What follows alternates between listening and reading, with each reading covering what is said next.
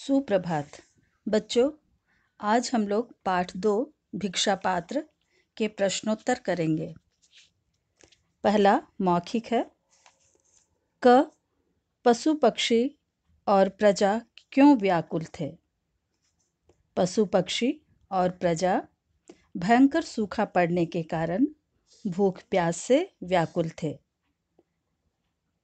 ख नगरवासियों की व्याकुलता देखकर महात्मा बुद्ध ने क्या किया? नगरवासियों की व्याकुलता देखकर महात्मा बुद्ध ने उनकी सहायता करने की सोची। नगर के हर आँगन में अनाज पहुँचाने का भार किसने लिया?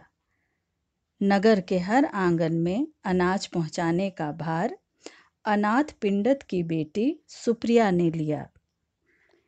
महात्मा बुद्ध ने सुप्रिया को क्या आशीर्वाद दिया? महात्मा बुद्ध ने सुप्रिया को उसके कार्य पूर्ण होने का आशीर्वाद दिया। आगे लिखित। क. महात्मा बुद्ध ने नगर के संपन्न लोगों से क्या प्रश्न किया?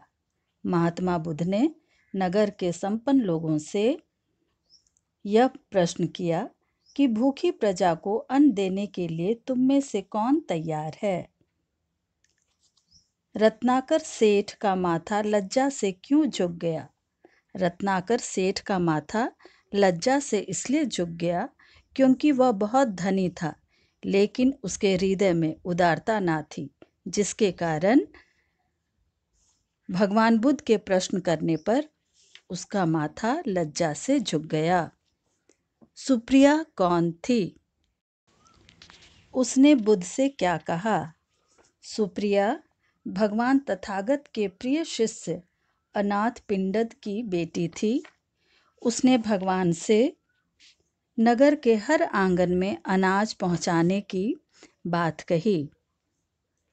आगे, सुप्रिया की बात सुनकर धनी सेठों ने क्या किया? सुप्रिया की बात सुनकर धनी सेठों का मन परिवर्तन हो गया और उन्होंने दिल खोलकर दान करना शुरू कर दिया। प्रश्न दो, सही उत्तर पर राइट का निशान लगाओ। सेठ धर्मपाल को अकाल के अलावा दूसरी चिंता क्या थी? चौथा ऑप्शन, राज्य का कर चुकाने की। ख पाठ में तथागत शब्द का प्रयोग किसके लिए हुआ है? महात्मा बुद्ध के लिए। अनाथ पिंडद कौन था? सुप्रिया का पिता। भाषा से। नीचे दिए गए शब्दों के लिंग बदलकर लिखो। जैसे उदाहरण दिया गया है, युवक, युवती, भाग्यवती, भाग्यवान। अर्थात यदि पुलिंग में दिया हुआ है तो स्त्रीलिंग में उसका अर्थ लिखना होगा और स्त्रीलिंग दिया गया है तो पुलिंग शब्द लिखना होगा। सेवक, सेविका, शिष्य, शिष्या, आकार की मात्रा। महारानी, महाराज, पुरुष, स्त्री। दूसरा, दिए गए शब्दों के सामने सही समानार्थक शब्द छांट कर लिखो।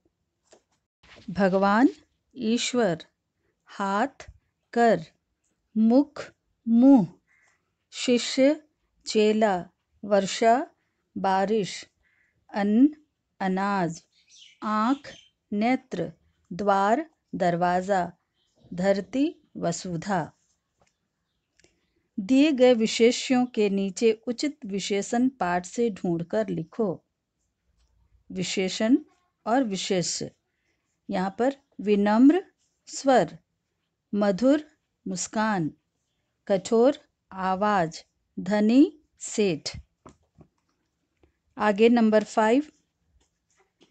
ऐसे शब्दांश जो शब्द के आरंभ में लगकर उसके अर्थ में बदलाव लाते हैं, उपसर्ग कहलाते हैं, जैसे वी जोड़ नम्र, विनम्र, यानी नम्र शब्द है जिसके आगे वी उपसर्ग लगा है। और इस तरह से एक जोड़ देने से एक शब्द बन गया। उसी तरह से वी जोड़ ज्ञान, विज्ञान, वी जोड़ शेष, विशेष, वी जोड़ जय, विजय, निर जोड़ जन, निर्जन, ज के ऊपर रेफ की मात्रा लगी हुई है। उसी तरह से निर्बल निर्बल में ब के ऊपर रेफ चली जाएगी। निर्धन ध के ऊपर रेफ की मात्रा लगा देने से शब्द बन गया निर्धन। प्रत्येक पंक्ति में बाईं ओर दिए गए शब्द के बहुवचन रूप पर राइट का निशान लगाओ। स्त्री, इसमें दूसरा ऑप्शन, स्त्रियाँ। आवाज़, ये चौथा ऑप्शन, आवाज़ें, जिसमें बिंदु की, बिंदु दी गई है। पौधा। तीसरा शब्द पौधे। दरार। पहला शब्द दरारें।